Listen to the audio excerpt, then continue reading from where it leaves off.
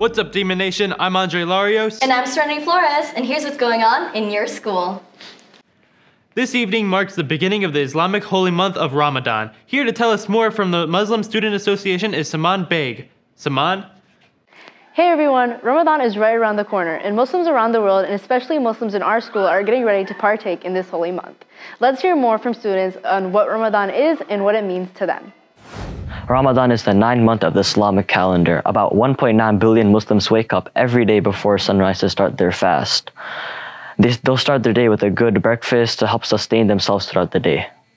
As soon as the sun rises, the fast begins. Eating and drinking is not permitted till sunset unless there are certain circumstances. Throughout the day, we devote majority of our time to self-reflection and self-improvement. A few examples will be through prayer and reading the Quran. As sunset nears, Muslim families come together to break their fast. The meal at sundown is called iftar. Ramadan is an important month for Muslims all around the world. Coupled with self-improvement, it also focuses on helping the needy. Charity and selfless acts are heavily promoted for better faith. Here's what your Muslim peers and Mainies have to say about the meaning and importance behind this month. Um, Ramadan um, is special for various reasons, but specifically, I like uh, the fact of gathering of family and friends, and you know, just eating traditional foods, and you know, the concept behind Ramadan. It helps me become closer with God, and it helps me break off bad habits. It's like the month where you get to do something you don't do the entire year. And um, it's important because it's like the month where everyone comes together and tries to like achieve one goal, you know? Ramadan isn't just about um, staying hungry. Um, a big part of that is uh, that it teaches you patience and um, um a lot of self-control. To me, it just means like discipline because it's it's like the holy month. You want to get rid of bad habit habits, as like um, any kind of cursing, you know, any kind of bad habit, and it just teaches me to be a better person and feel for the poor with for not eating. It means strengthening my spirituality in every way that I can and just giving to everybody every chance that I get and being able to help the people around me and just be the best version of myself, especially in this month because of all the good reward that you get from it and the good deeds that come out of it, especially during Ramadan. In order to educate everyone a bit more about Ramadan, the Mainies Muslim Student Association is hosting a fastathon next month. The fastathon is an opportunity to try fasting for a day, and it will take place on April 5th from 6 to 8 p.m. for all students and staff who wish to partake. To attend, you'll need to buy a wristband with a fasting guide for $3 in the bookstore or during lunch periods the week of April 3rd. We encourage participants to try fasting for a day from the start of the school day till the dinner event. The event will be filled with fun activities and a guest speaker. Hope to see you there. Thanks, Saman, for telling us about Ramadan. In other news, this is the last week of HOSA Club collecting donations for coloring books, crayons, non-slip socks, toothpaste, toothbrushes to create care packages for children in the cystic fibrosis ring at Lutheran General. These children face unique challenges and we want to provide them with some comfort during their stay. Donations can be dropped off by the bus shelter, front office, bookstore, CTE office, and the teacher's worker room. You can help make a big difference in the lives of these children and will bring a smile to their faces. Thank you for your generosity and support in the effort. Broadcasting Club is showing the anti-hate satire film Jojo Rabbit at 3.30 today in room D115. Jojo Rabbit is a 2019 drama comedy film starring Scarlett Johansson and Sam Rockwell. Jojo Rabbit tells the story of Jojo, a 10 year old German boy growing up in World War II. Jojo is a Hitler Youth member who discovers that his mother is hiding a young Jewish girl in their home. Admission to this amazing movie is free and snacks will be provided. Mainies Cares is hosting a dine and share event this Friday from 4 to 8 p.m. at the Golf Mill Panera Bread. A portion of your purchase will support the Chicago Coalition for the Homeless. Who will be crowned the next MX Demon? You can find out at the MX Demon competition on Thursday, April 6th. Come see your friends and fellow students competing for the spot. They'll show off their talents in this special performance. Secure your seats beforehand by buying tickets from contestants or junior lyceum members, or buy them right at the door.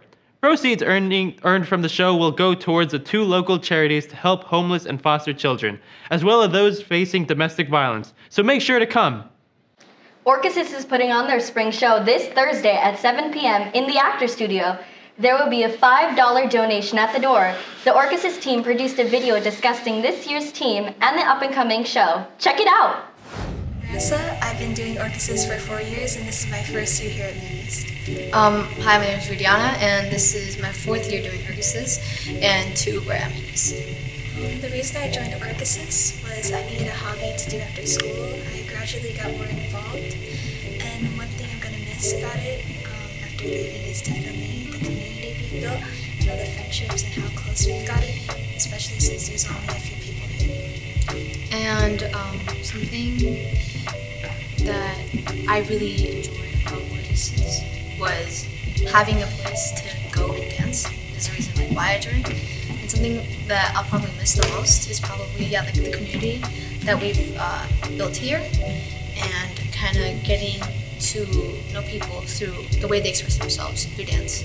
So I think it's really beautiful that we can take such an art form and express those kinds of emotions. Contour show on Thursday, March 23 at 7 p.m.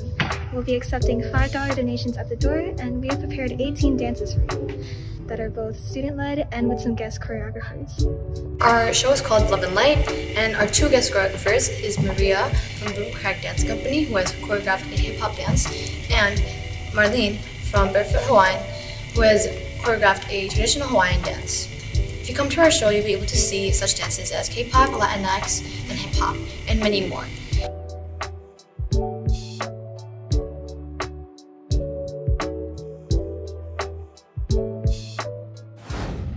Maine East and organizations all over the country are celebrating Women's History Month throughout March.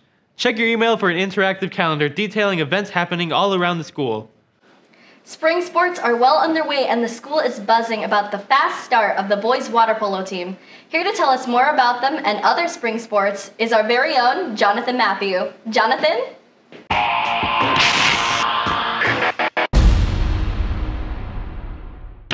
Thanks, guys. The spring season is underway, and already there's so much to look forward to.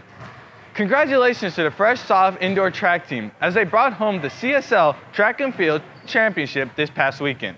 As the indoor season wraps up, the athletes look forward to the outdoor track season as that will start up right when they come back from spring break with the Prospect Night invite, and they hope to continue their successful season. The boys water polo team is off to an amazing start, starting their season undefeated as the start of this week. This is the best start this program has had since 2013, and with a dominating win against the rival Maine West last week, they look to keep this win streak alive heading into the break. Tonight, the boys volleyball squad will take on Fenton in the fieldhouse, and as this is a season opener, they will look to start the season off strong. So be sure to show up and cheer for the Demons tonight at 6 p.m. The girls soccer team will have a home game against Taft High School tomorrow, tomorrow night at the Maine Memorial Stadium. You can catch the girls play at 7 p.m. as they look to start off their season on the right foot. There's a lot of season kickoffs happening this week, and for these spring sports, so be sure to look out for more news, schedules, and updates on a218.com. That's it for me. I'm Jonathan Matthew, as always, and this is your Blue Demon Sports Report. Thanks, Jonathan. I'm Andre Larios. And I'm Serenity Flores. But bye. Bye.